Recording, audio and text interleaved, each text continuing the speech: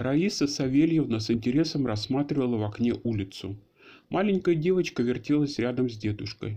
Видно, к прадеду приехала, решила пожилая женщина, оглядывая модно одетую парочку, разме... разместившуюся на лавочке поблизости. Девочка что-то говорила деду на ухо. За три недели, проведенные в доме престарелых, Раиса уже много узнала про местных жителей.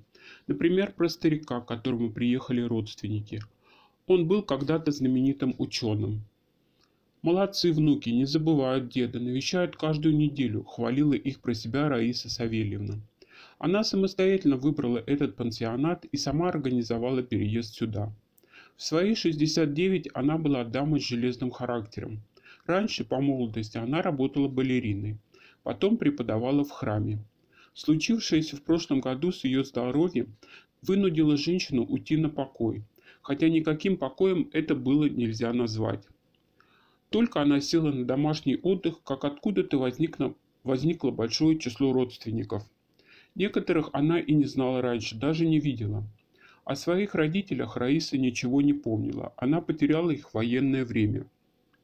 А родственники все приезжали и приезжали, злобно предлагая помощь пожилой женщине. Она поняла, что на самом деле им нужна не она, а ее четырехкомнатная квартира, находящаяся в центре города. Раиса решила все продажи жилья, положив все вырученные деньги на банковский счет. Сама она переехала в пансионат. Здесь жить безопаснее и воздух свежий. Раисе нравились ее просторная комната с окнами в сад и милейшие соседи. Постояльцам предоставлялась полная свобода.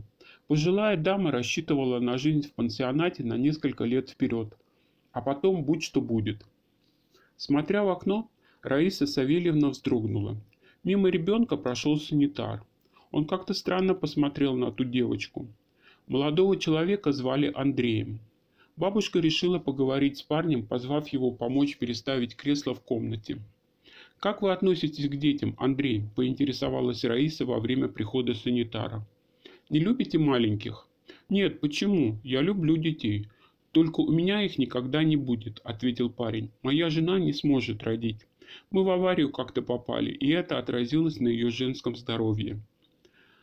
Катя тоже, как и он, была из детдома, и расставаться со своей супругой Андрей не хотел. Они планировали усыновление, однако мужчина мечтал о собственном ребенке.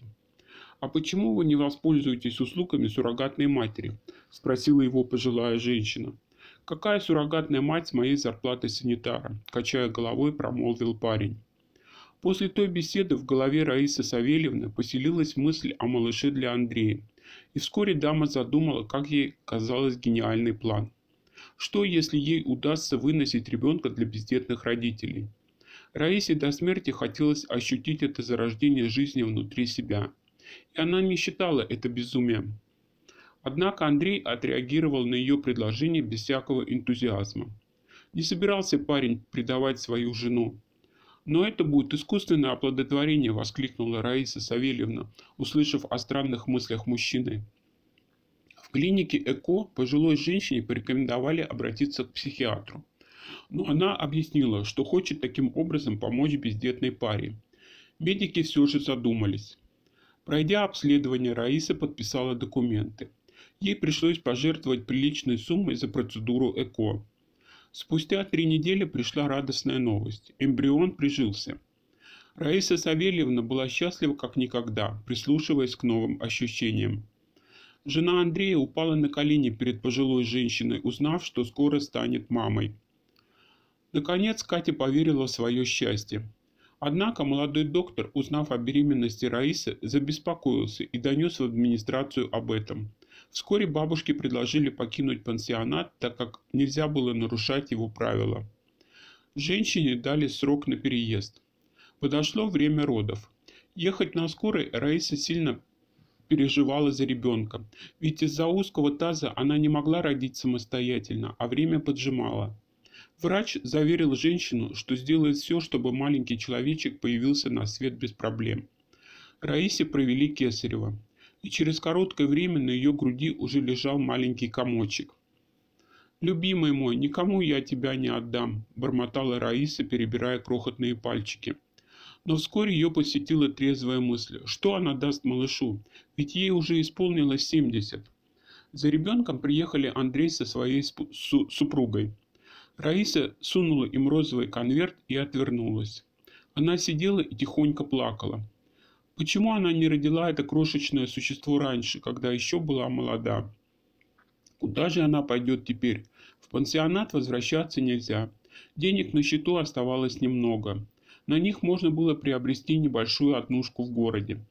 Она собрала вещи и собралась было уходить из роддома, как в дверях показался Андрей. «Что-то еще?» – спросила она. «Раиса Савельевна, мы по глупости своей чуть не уехали без вас», – выпалил молодой человек. «Теперь вы наша семья. Пойдемте к нам». Парень выхватил большую сумку у пожилой женщины. Она вдруг поняла, что они-то стали родней с Андреем, а значит, есть для кого жить. Оставался вопрос, какую роль в его семье будет выполнять Раиса. Пожилая, пожилая дама не отказалась от предложения. Вскоре они втроем сидели и пили чай за столом на кухне, а в спальне посапывало маленькое создание. Эту квартиру на продажу, а сами купим дом в деревне. Там места хватит всем нам», – решительно произнес Андрей. Раиса Савельевна глянула на него, задумалась на минуту. Но заварила-то эту кашу она, выходит, сама ее и должна расхлебывать. «Вы действительно хотите, чтобы я осталась жить с вами?» – поинтересовалась женщина у супругов. Они закивали. Раиса радовалась при себя предоставленному ей судьбой шансу. Видеть дочь, пока она жива. Тогда продадим эту квартиру, я добавлю свои деньги и приобретем за городом приличный коттедж», – предложила Раиса. Лица супругов засияли. «Катя, ты же не против, чтобы я была бабушкой вашему прелестному созданию?» – спросила пожилая дама. «Конечно. У нашей Лизоньки нет ни одной бабушки. А тут такое счастье». С этими словами Катя кинулась целовать руки Раисы Савельевны. Радости женщины не было предела.